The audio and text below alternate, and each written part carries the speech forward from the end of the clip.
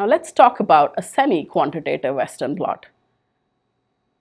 The term semi-quantitative Western blot is used to define Western blot data with a fold change or percentage change in protein expression.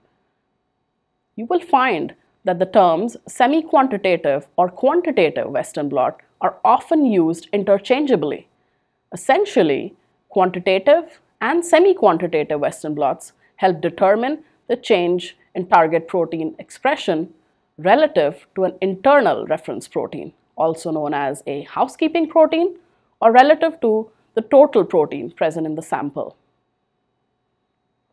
What is often misunderstood is that semi-quantitative or quantitative Western blots never provide an absolute measure of the target protein.